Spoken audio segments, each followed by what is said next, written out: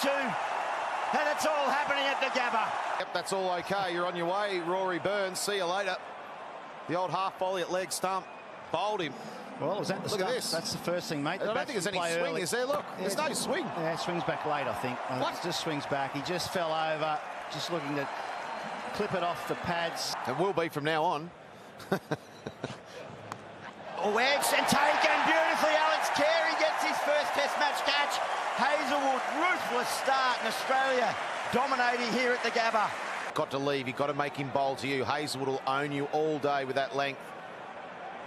I reckon it was a little bit short. He just pushed at it. You have a good look here. Did he have to play at this? Yeah, look, he didn't have to play at that. It was too short. Crease. Edged and pouched by Warner at first slip.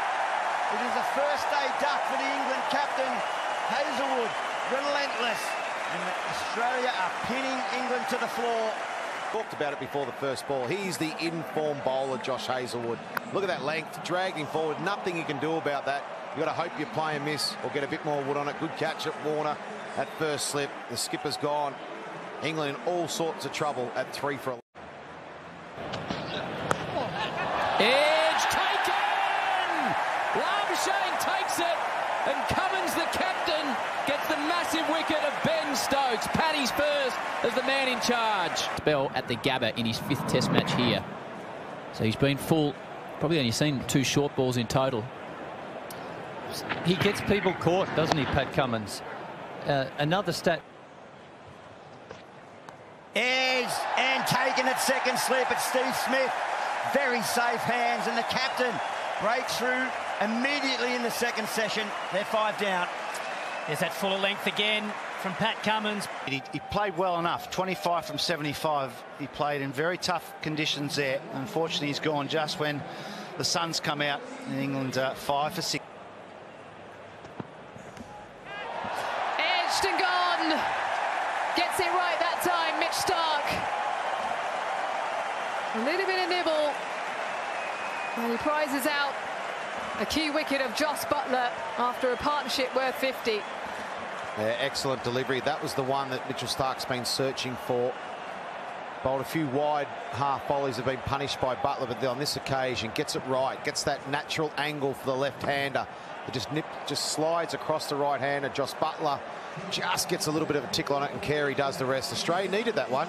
Even though it's only a six for 112, they needed that wicket. Buttler was looking dangerous. He's gone for 39.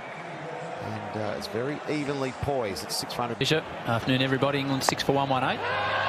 Skied ball, shouts of catch it. Man comes in. What a catch that is! Hazlewood dives. Green gets his very first Test wicket, and the Australians are all over him. He just couldn't get a wicket against India, and suddenly Cameron Green, this budding all-rounder, has his first. Cramped, didn't get a lot on it. Hazlewood had to do some work to his left, stayed low, good hands, no elbow work, out. Edge taken. Carey with another behind the stumps. And Paddy Cummins gets his third, and England now in all sorts. was the money ball. It was at fifth stump line. He was slightly reluctant to get forward. The weight transfer was slow from Ollie Robinson. Cummins has taken the wicket. He's got four. Paddy, he knew immediately. What a start for the captain. Four for 36. Wide of the crease, straight at you, around the rib cage. Hit that through cover for four. And all he could do was fend it. He's a number 10. It was a really good delivery. Not in control.